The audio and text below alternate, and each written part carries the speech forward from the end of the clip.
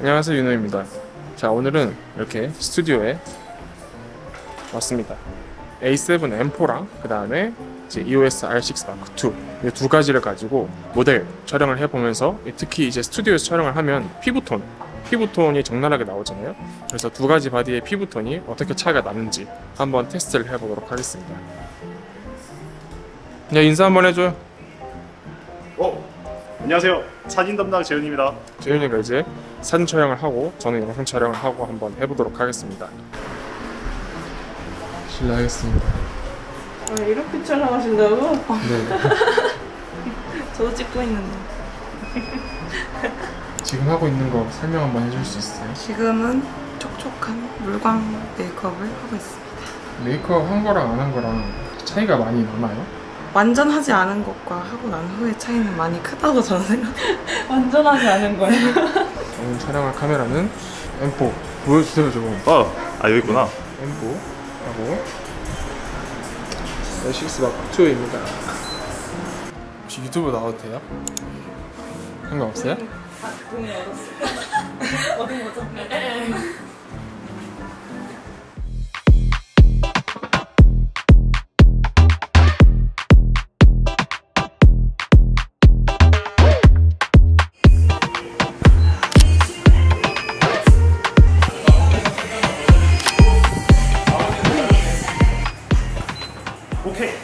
소니로 교체해서 한번 가볼게요. 오케이 잠깐 쉬고 계세요? 오 괜찮네 응.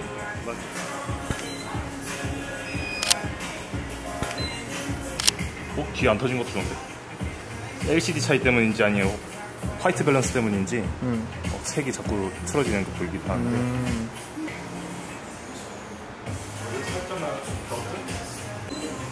좋아요. 방금처럼 그냥 이 보이면서 웃는 거 한번 해볼까요? 김고은 화보 느낌 나는 것 같고 어, 진짜 저 잘라주세요. 김고은 잘라주세요. 그 중에 웃는 게 진짜 잘 나와요.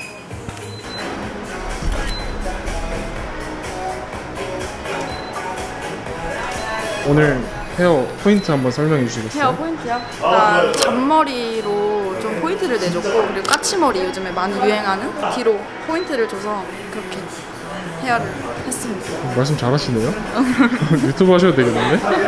카메라 바꿔 써보니 어떠신가요? 사용성은 캐논이 압승인데요. 아 진짜? 왜?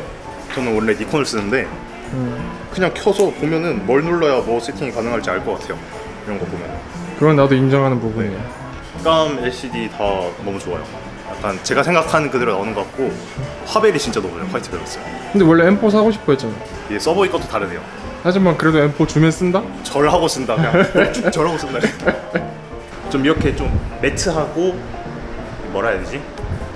약간 풀어져 있는 느낌 하나하나 뭉쳐있지 않은 느낌 자연스러운 느낌. 네 자연스러운 느낌 쌤들이 굉장히 고생을 하고 계십니다 오.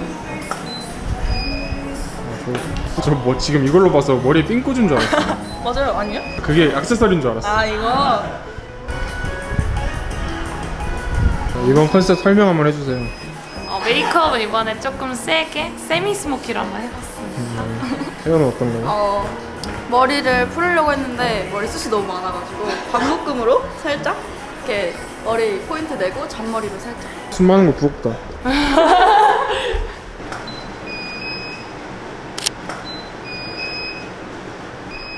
포토가 몇 명이에요?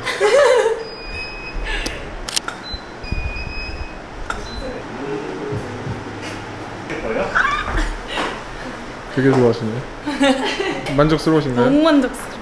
진짜 잘 나온다. 저요? 아 맞아요.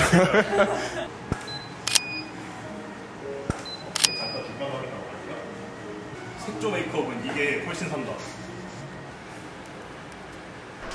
이제 거의 끝났거든요. 네.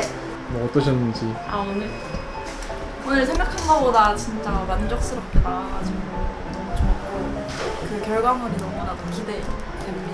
저도 어제 급하게 현장이 잡혀서 많이 준비 못했는데 생각보다 잘 나온 것 같고 또 이렇게 많이 찍어주시니까 결과물이 진짜 기대가 돼요. 인스타 이런 거 올려 올려드릴게요.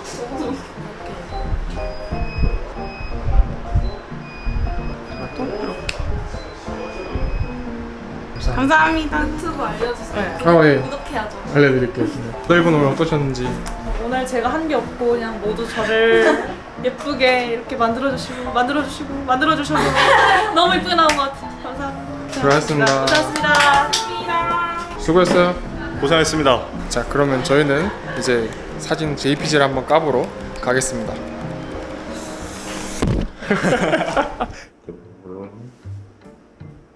피부 색감은 캐논은 어, 그냥 진짜 그냥 깨끗한 피부 느낌이야. 색이 딱 정돈돼서 나와가지고 음. 피부 톤 진짜 좋은 거. 어, 피부톤이죠. 그 소니를 한번 같이 봐야 될 것 같아.